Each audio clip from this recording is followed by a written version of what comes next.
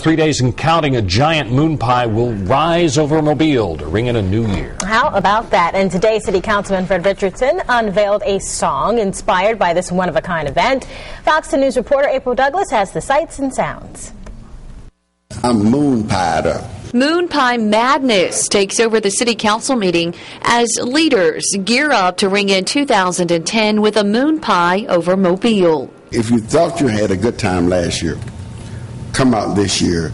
It's going to be exciting, entertaining, and outstanding. Now there's even a theme song for the event. Ray Farnell is the man behind the lyrics. Way down in Alabama on New Year's Eve, all the people get together for a sight to see that moon pie high above Mobile River.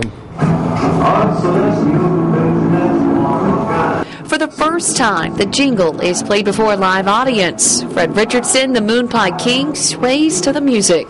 The group The Rays composed the song to commemorate the unique nature of the moon pie rising with a bit of Mardi Gras flair. We just started this, uh, what, a week ago, week and a half ago, um, and it all came together um, in just a matter of a few days.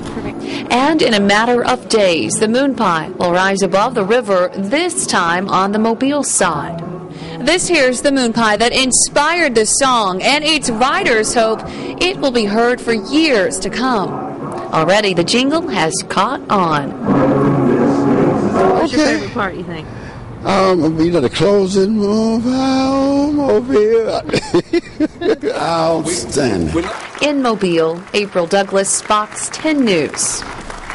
Now, to hear the complete song Moon Pie Over Mobile, just head to our website, fox10tv.com.